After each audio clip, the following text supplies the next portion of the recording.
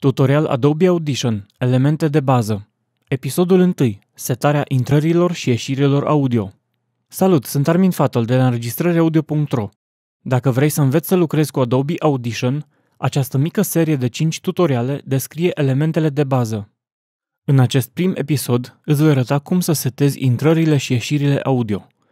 Când deschizi programul, aceasta este imaginea care îți apare – Setările interfeței audio le găsești în meniul Edit, Preferences, Audio Hardware. Sau poți ajunge acolo printr-o scurtătură de taste, Ctrl-Shift-K sau Ctrl-virgulă. Apoi dai click pe Audio Hardware. Dacă interfața ta de sunet lucrează cu drivere ASIO, atunci aceasta este cea mai bună alegere. Altfel, setează driverele cu care funcționează bine interfața ta audio.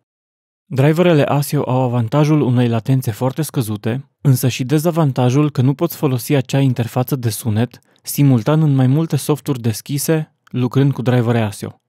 La interfața de sunet eu am ales Focusrite pentru că aceasta e interfața mea de sunet. La tine aici vor fi alte setări, alege interfața ta de sunet pe care vrei să o folosești.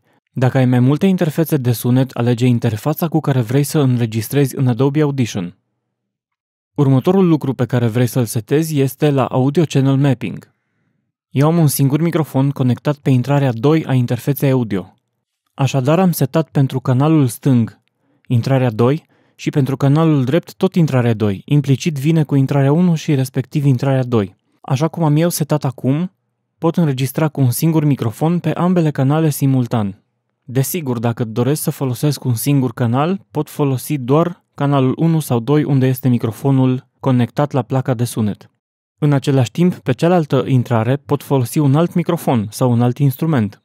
Apoi, din cele patru ieșiri ale interfeței mele de sunet, eu folosesc prima ieșire pentru canalul stâng, iar cea de-a doua ieșire pentru canalul drept.